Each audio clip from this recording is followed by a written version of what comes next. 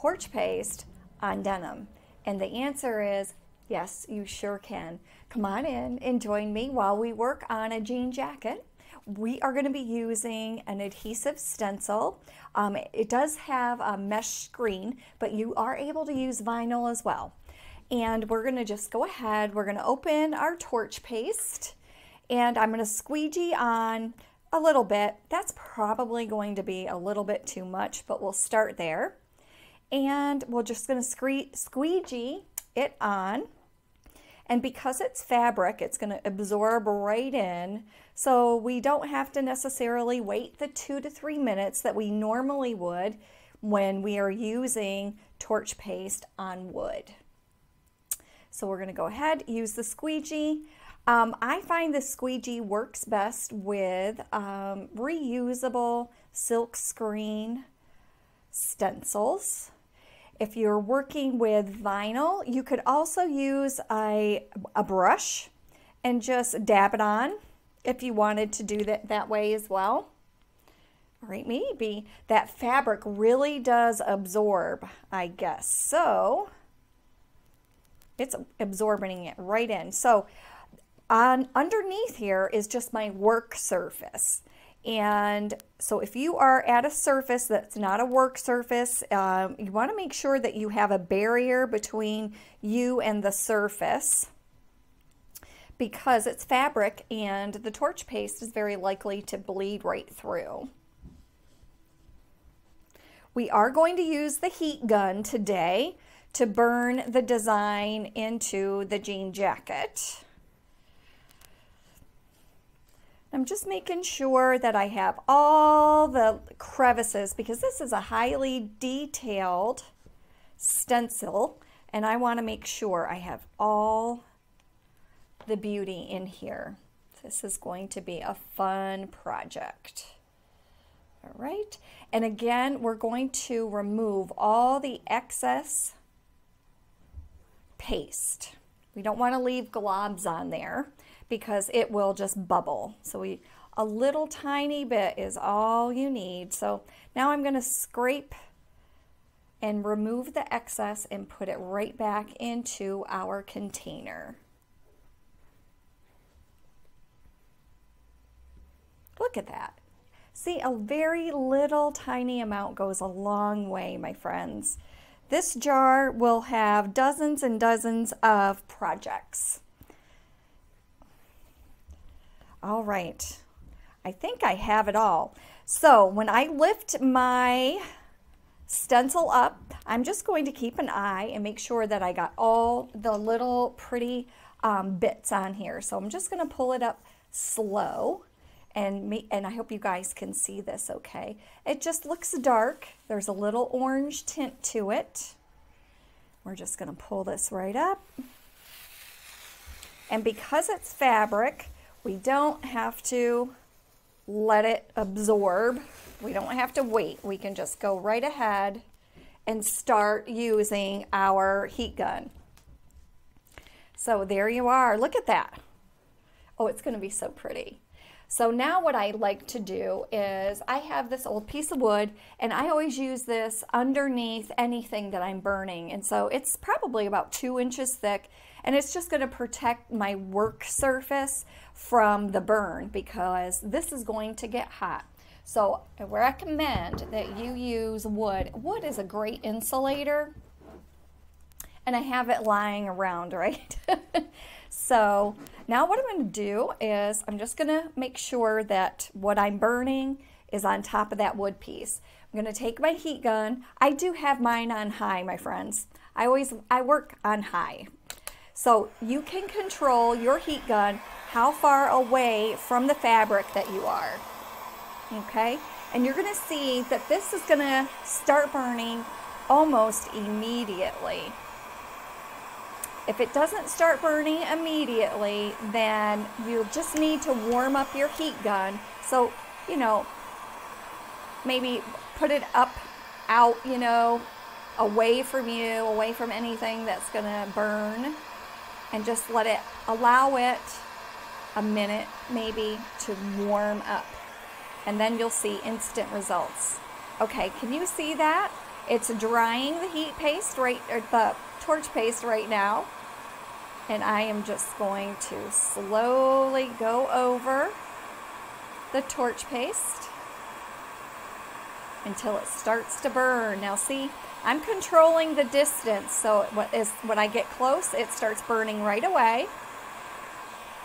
And I just want the design to burn, so I want to be very careful that I don't burn the surrounding jean jacket. So we're doing a little bohemian today. I do have a nice little sugar skull that I I, I just need to put that on a jacket also because I, I think that'll be quite fun. All right, see that? And it's burning right in there now. Does it degrade the the fabric? It does to a, a degree, my friends, because it is actually burning the design right into the fabric. It is washable. After I do this, I'm going to wash it I'll either um, line dry it or I'll put it in the dryer and I'll show you what it looks like. So there you go. Again, if you go closer, it burns quicker. Closer, it burns quicker. Just like that. Now it fades just as soon as it starts drying out. You're going to see that the design goes kind of like a matte, right? It's no longer glossy, but it's a matte. So you want, just want to be mindful where your design is so that you can just burn it right on there. Because it may be a little difficult to see. This is going to be real time burning this large design, real time. So that'll give you an idea of how long it should take you to actually burn the fabric You can see it doesn't take too long at all. We just have a very large design.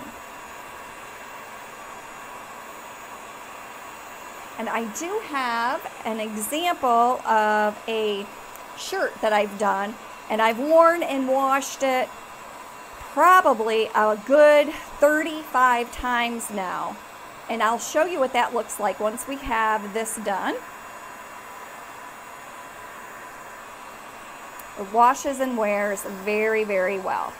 Now, if you really want to have a, a real worn look, then you could actually burn around the design too, you know, to give it like a nice weathered look. Now, you don't want to burn it all the way through, so you want to have a garment left. So just be mindful, and I recommend doing a test fabric first. So some jeans or something that you don't care if um, if you mess up a little bit or make it a little uh, more rustic or worn, always use a test piece. Just to get a feel for how far you need to be away from the fabric. And now I'm just going to move the fabric because remember the wood is underneath here to absorb the heat because it's really hot. Now this is just, this is a fun way of doing it with your heat gun. You can really control the amounts that you, if you want one area darker than the other, you can really control it with a heat gun. Another video that I'll be posting is we'll be using the heat press because you are, are able to use the heat press. With the heat press, there's um, a, a couple of little nuances. So make sure if you are going to use your heat press, watch that video before you use it. All right, so we're almost halfway through the design. Maybe we're over a little halfway there. You can see it was a good 18 inch 18 inches, I think, by maybe 10 inches. And I'm just going to move that over a little bit further. There we go. Am I moving that right out of there? Okay. Don't want to move it right out of the frame. So let's see here. Yep, okay. Ta-da! There we go. Just keep that heat gun moving. Keep it moving. Want to keep your fingers away from it. Make sure you have a barrier underneath there.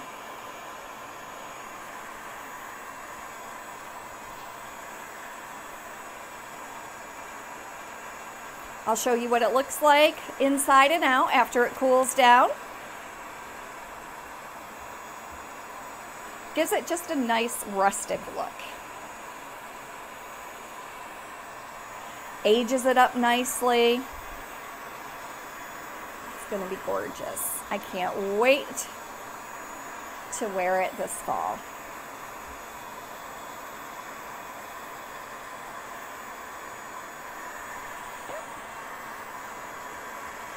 Want to make sure you get all the design. There it is. It's getting a little, uh, little difficult for me to see where the pattern is. It's just a light orange. So I want to make sure that I get every detail. So I'm going to go back over it maybe a little bit just to make sure that I have it. have all the details.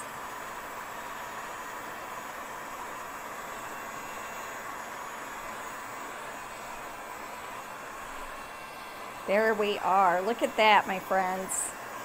Now I'm just going to come up here a little bit because I want this kind, I want it kind of weathered all the way around. So I'm just going to show you, just going to take the heat gun and go over the jean jacket a little bit here, a little bit there.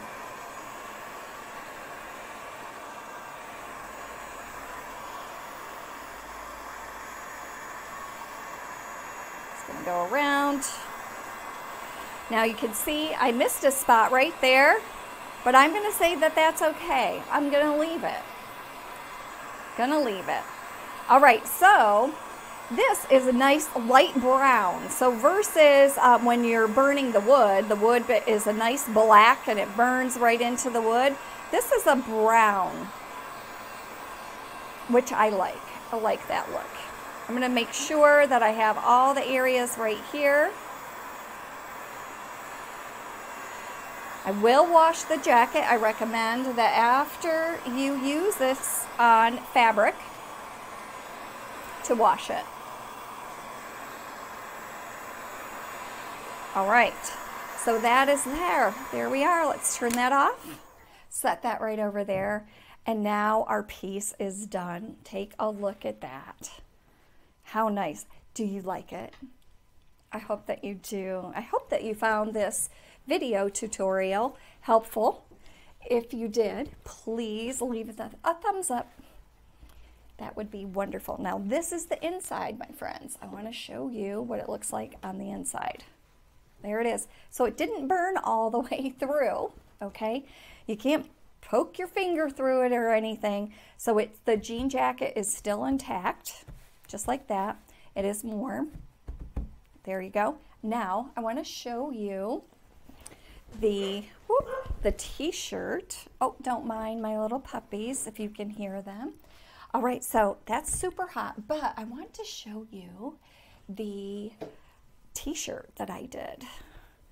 Now this was on a blend. This was on um, a cotton blend, and I used the heat gun for this one as well.